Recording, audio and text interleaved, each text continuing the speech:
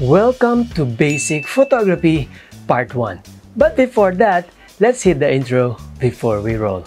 Let's go!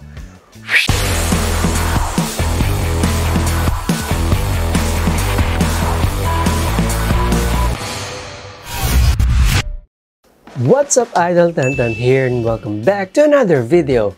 Thank you so much for keep coming back to my channel. Today's topic, we're going to talk about the one of the most fundamental photography technique that you need to understand to produce amazing photos and that is the rule of third. The best and simple way to understand the rule of third is with the grid like this. Now, you may see like this on your camera and switch it up because it's a little bit distracting. But today, I advise you to put it on.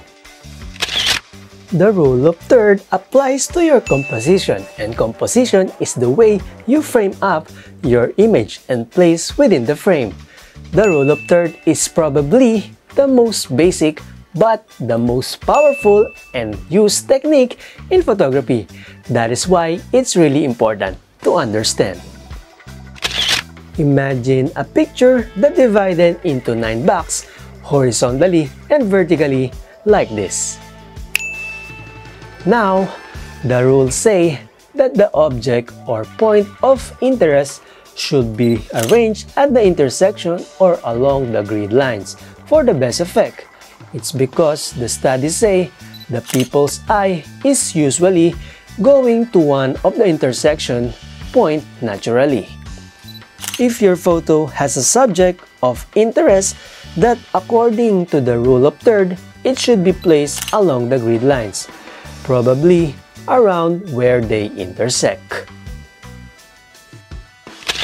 And if your photo has a scene or landscape divided by a horizon, then, the line should be placed to one of the grid lines.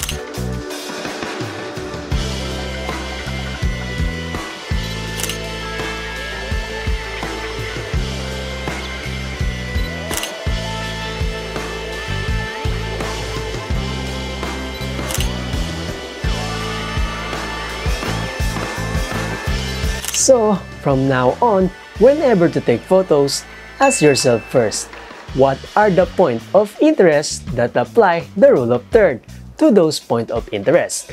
It's simple but it will give a big impact to your photos. But remember, the rules is just a guide and like any other rule, it's sometimes meant to be broken. So go get your camera and see for yourself. And that's it for today mga idol. But before that, shout out to Big O Trio. It's a homemade delicacies producing ube pandesal, choco pandesal, and carrot loaf. And if you live in Manila, you can contact my fiancé, Mariel Mateo. I will put her link down below so you can visit our page. Thank you so much until the end and please don't forget to subscribe and hit the notification bell so that every time I post a new video, you'll get notified. Once again, this is Jonathan Sanchez, aka Tan Tan. We make a living by what we get. We make a life by what we share.